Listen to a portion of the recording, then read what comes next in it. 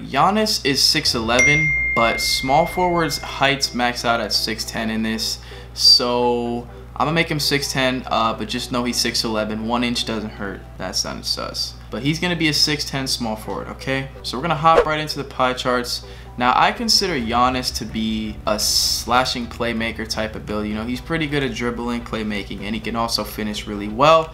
So just for that, we are gonna choose this pie chart right here with the finishing and playmaking maxed out. A physical profile, I think we should go with the top one. So we're gonna go ahead and we're gonna choose the top pie chart just so we are as fast as possible. Now it's the upgrades, okay? We gotta max out the shooting, okay? Giannis is not too good of a shooter, but yeah, we gotta max out the shooting just so we get all of our 12 shooting badges. Playmaking, I think we're gonna just try to put all this up for now. Geez, 30 playmaking badges. You guys probably don't need 30 playmaking badges. Honestly, if you really wanted to, you could really be fine with having like eight playmaking badges because playmaking badges or Hall of Fame on this player.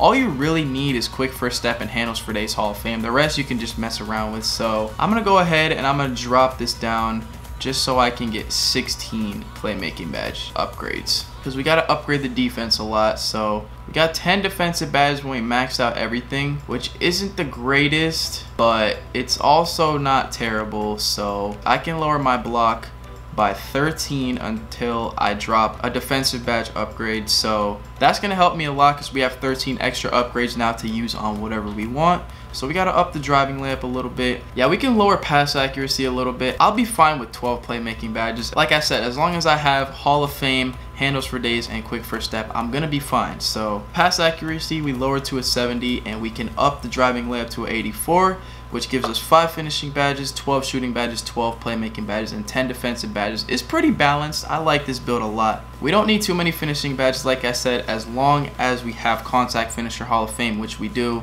we're going to be fine. So these are the final attribute upgrades right here. I'm going to leave this on the screen just in case you know you guys want to copy it down. The sub count's right there on the screen. Everybody, stop what you're doing, drop a like on this video, and subscribe with those post notifications on. I'm going to get you guys involved in some videos. You know, I'm going to do a lot of giveaways in the videos, stuff like that. A whole bunch of cool stuff. So you guys want to make sure you're subscribed and go follow me on Instagram too and follow me on Twitter. Then the height, we're going to make him 6'10". Like I said, Giannis is 6'11". You can't make a 6'11 small forward in this game, so we're just going to make him 6'10". We can do minimum wingspan just because it makes us faster, and it also makes our driving, dunk, and layup go up. Now let's move on. Wingspan. Now you can't get pro dribble moves on this player just because he's super tall. But the good thing about this is if you make the wingspan maximum, your driving dunk gets a plus 3, and that means that you can get contact dunks once you hit 98. Another good thing I forgot to mention is you're going to have Hall of Fame playmaking badges on this player, which means you're going to be really fast because you're going to be able to put on Hall of Fame quick first step. This build is crazy. So you could choose glass cleaning takeover or slasher takeover. We got to go with slasher takeover. It's only right. So let's go ahead and put that on. And now we have the finisher. Alright, I'm going to show you guys what badges we're to put on right now. But y'all make sure to hit that like button and subscribe before we continue. Got five potential upgrades. Got to put it on contact finisher, of course. The last one you can put it on whatever you want. I would say the best are probably acrobat, fancy footwork, pro touch, or slithery finisher. So I'm gonna just put it on acrobat. Then the 12 shooting upgrades. Got to put catch and shoot on. Got to throw on hot zone hunter. Uh, probably corner specialist gold because you're not going to be the primary ball handler so you're probably going to be in the corner for a lot of the time. I would say green machine silver and I guess range extender bronze, why not? Now playmaking, we got 12 playmaking badges. We need handles for days, quick first step, Hall of Fame.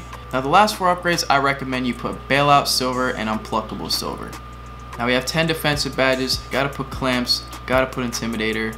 Since you're probably gonna be playing the two or the three when you're playing park, I recommend you put rebound chaser bronze, chase down artist bronze, and then box and rim protector smash that like button, subscribe with those notifications on. Want you guys to comment down below what build you want to see me make next. Yeah, go follow me on Instagram, follow me on Twitter. Everything's at the top of the screen and in the description. Until next time, it's Randy, and I'm out. Peace.